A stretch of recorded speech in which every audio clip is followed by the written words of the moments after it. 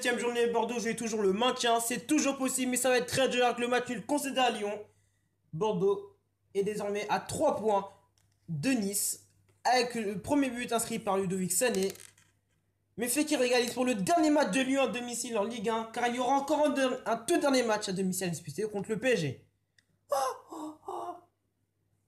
Le stade de Reims qui est officiellement maintenu grâce à sa victoire contre, contre l'AS Saint-Etienne de Buzyn.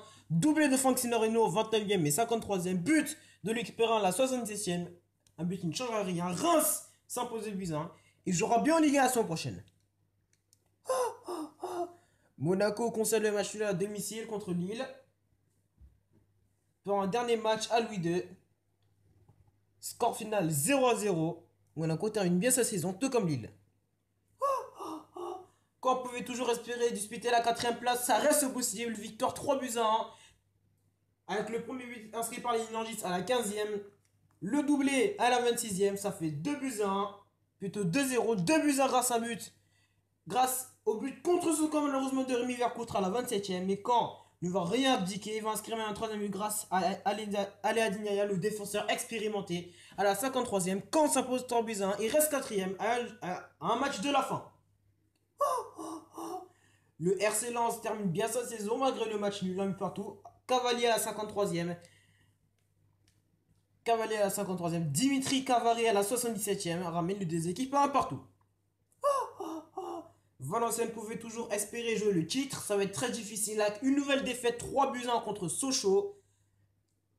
Triplé de Matheus Vivier au 77e, 80e et 83e minute. Et le but pour Valenciennes, inscrit par Loïs Neri à la 92e. Les Evianais le malheureusement heureusement bien fait de détails avec une victoire à domicile. Le dernier match de la saison à la maison avec une victoire 2-0 contre Guingamp. But contre son camp de, de Jacobsen à la 29e. Et le but pour Evian inscrit contre son camp encore par Jacobsen à la 53e. Evian s'impose 2-0. Le PSG peut toujours espérer discuter le titre. Ça sera très dur jusqu'à la dernière journée avec la victoire 3 buts à 1. Triplé d'Adrien Rabiot, 29e, 56e et 83e minute.